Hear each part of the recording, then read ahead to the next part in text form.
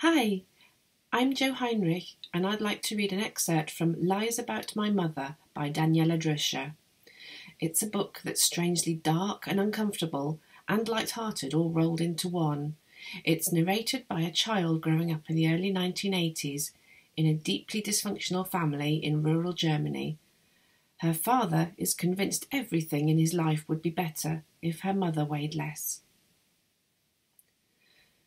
We would be spending the holidays with the Elsners, a couple from Garmisch-Partenkirch, and their children. My parents knew them from Munich, where we'd lived for a while. We were due to meet at a motorway service area just before the Italian border, and then cross the Brenner Pass together, my father announced, not without a certain reverence in his voice. I couldn't help but marvel all the way there the Alps, speckled with snow, rose up in the distance. I'd only ever seen the mountains in pictures in our photo album. I was amazed at how massive and imposing they were in real life. When we arrived at the car park, I initially kept my distance. I couldn't remember the family. Isolde, the mother, was so small and thin she could have fitted in my little polyester tracksuit bottoms she hugged both my parents affectionately, as did the man, whose name was Gerd. My father was visibly pleased. My mother's reaction seemed a little cautious to me. Both daughters were close to my age, the elder ten, the younger five. Their names were Tekla and Moni. Tekla, the elder sister, chewed gum incessantly and listened to music on her Walkman, which she casually tucked into the waistband of her jeans.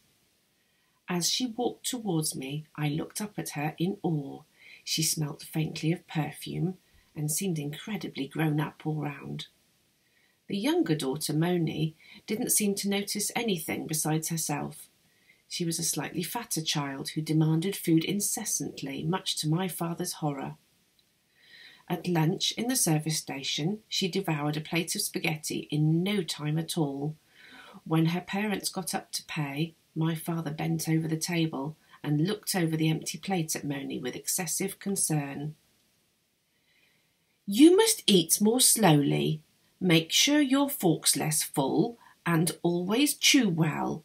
Ten times every mouthful, at least.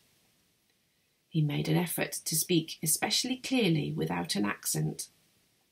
Then he turned and gave my mother one of his troubled looks as if she was to blame for Moni's eating habits. We'd only just got back in the car when he snapped at my mother. Does your swimming costume still fit you? he asked tetchily. His words came out of the blue. What do you mean? Of course it fits.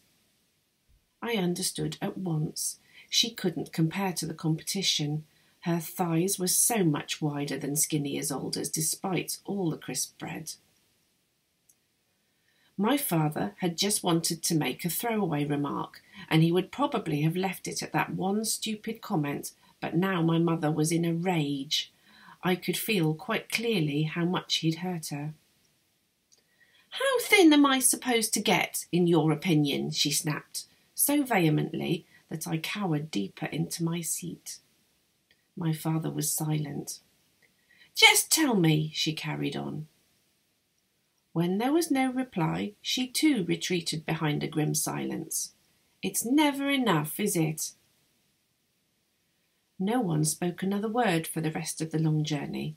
I tried to focus on my music cassette.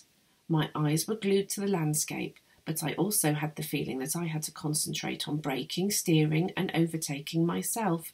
The atmosphere in the car was so tense. Only once did my mother offer in a deadpan voice to take over the driving from my father, but he turned her down and carried on resolutely without a break.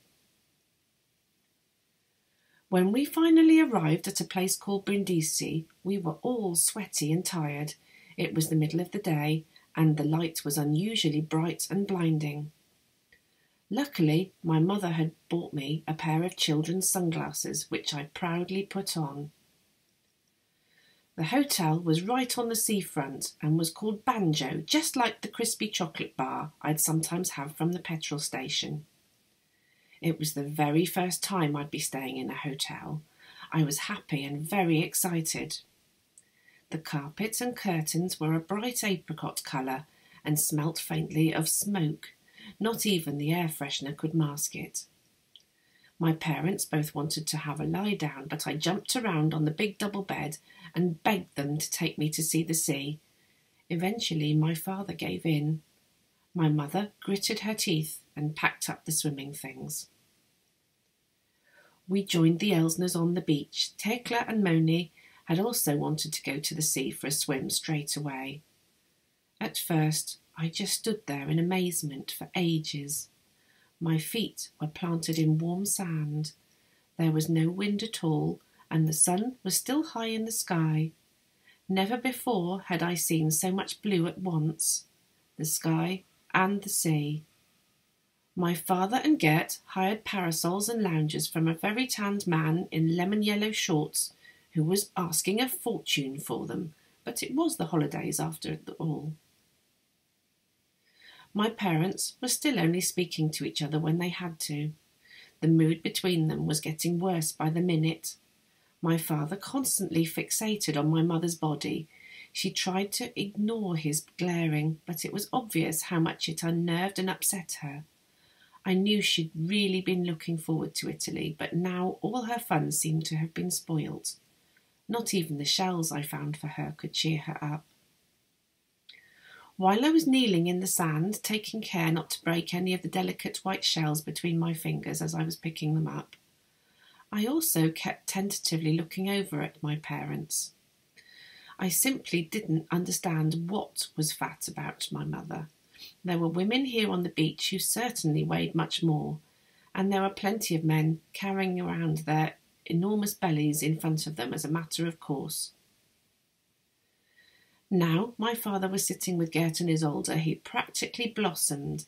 He was exuberant around them, making joke after joke, laughing incessantly and slapping his thighs, even if something wasn't actually funny at all but only until the men started discussing work. Gert, it turned out, had just been promoted, and the more enthusiastically he talked about it, the more my father's face darkened. I felt sorry for him. I knew how much he suffered from not being given a chance in his company.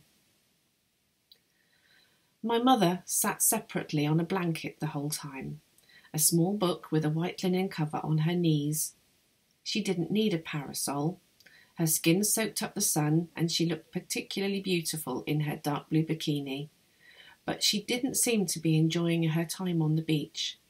She didn't go into the water, but just sat there with her legs drawn up, reading page after page, and hardly ever raising her head, her face half hidden behind her Grace Kelly sunglasses. Thank you.